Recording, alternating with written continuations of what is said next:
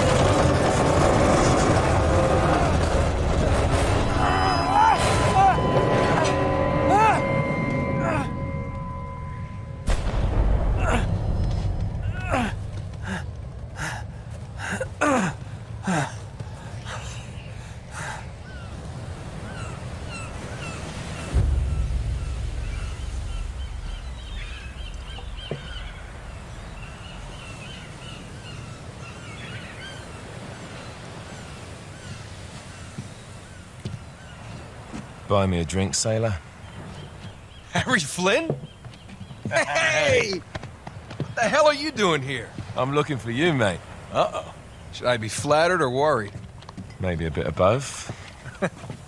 Come here. I've got a job for us. Really? A client is willing to part with a huge sum of cash if we acquire a certain object for him. All right, I'm listening. Now, you're not gonna like this.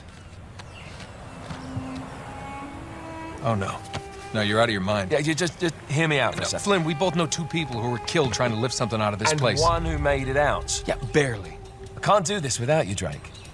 You're the only one who's cracked it, and you know better than anyone it's a two-person job. No, no, no. Three, actually. Right. And speak of the devil, here she comes now. What? Chloe Frazer. Nate. Drake. Nathan. Drake. Hello, Harry. Chloe here's one of the best drivers in the business. She'll take good care of us. I bet. Right, look. I've got it all figured out. We go in through the sewer. I'm loving it so far. That puts us in the courtyard. From there, we scale up the wall, run across the rooftops, and just drop down into the exhibit hall. Bob's your uncle. And what is worth all this trouble, I hear you ask? I didn't, but go ahead. But that's it. An oil lamp. Yeah. It's worthless. I don't get it. Neither do we. That's why we tracked you down. Well, it sounds like you're working for a nutcase. Hmm. Some collector who's got too much time and money on his hands. And by the way, this is not worth any of it. But there's more. How's your 13th century Latin, mate? Where'd you get this? Borrowed it from the files of the nutcase. In Trebizond, we were set upon by thieves. Father, Maffeo, and I were robbed of our greatest treasures. This was written by Marco Polo. Yes, that much we were able to work out. Unfortunately, the rest of it's nonsense. Hey, hold on. So that it should not fall into the wrong hands, I concealed my great sorrow in the unlikeliest place. The light of the great Khan shelters the fate of the Thirteen. See what I mean? It's just gibberish. He's talking about the lost fleet. Yeah.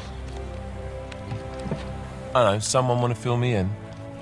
Marco Polo leaves China with 600 passengers and 14 ships loaded down with treasure from Kublai Khan. And he lands in Persia a year and a half later with only one ship left and only 18 passengers. Now, he recorded every detail of his journey, but he never told what happened to all those ships and the passengers. So, so somewhere out there, there are 13 ships loaded with the Emperor's treasure waiting to be found. Yeah, and that is what your client is after. Hey, look at this lamp. It's covered in Mongolian script. It must have been a gift from Kublai Khan. The light of the great Khan shelters, Shelters the fate, of the 13. Marco Polo hid something inside this lamp. Something that pinpoints the site of the lost fleet. So, we're dicking this guy over, right? Damn straight. Absolutely. you in then? What the hell? I mean, what could possibly go wrong?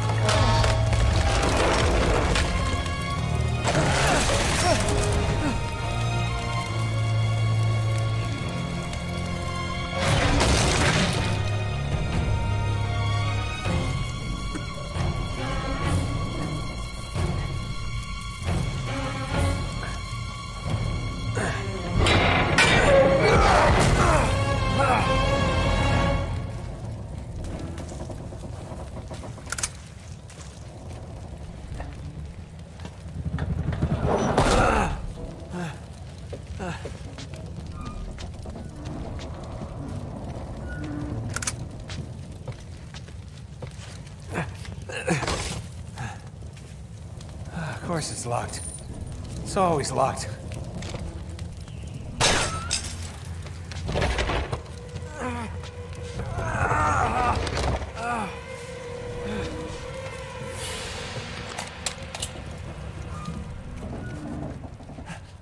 He's alive!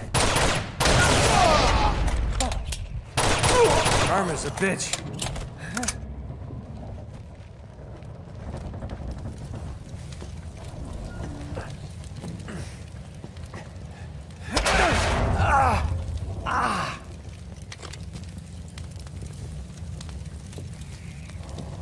Huh.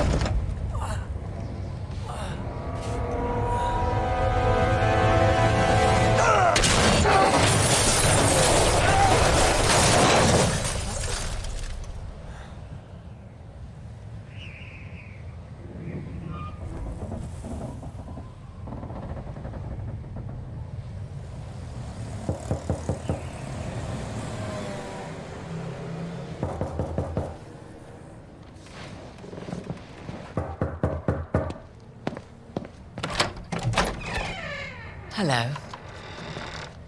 Uh, well, so much for foreplay. You mind telling me what the hell is going on? You mean with Flynn? Yeah, you might have warned me. And missed the look on your face? Anyway, you haven't exactly made yourself easy to find. Talk about making yourself easy. Oh, you're not jealous. Let's not forget who walked out on whom. After all, you don't get to be jealous. Wait a minute, Chloe. If it makes you feel any better, my relationship with Flynn is strictly professional. Really? Mostly professional. Oh, When I figured out he was actually on to something, I thought you'd want to be in on the action. so what's the plan? Just like we said, we pull the heist, find the ships, and we make off with the treasure. With Flynn. Mm-hmm. And then? And then we split the take three ways, and you and I just disappear. Together this time. I see. Until then, he can't know about us. He's gonna be pissed. He's gonna be fine. Trust me.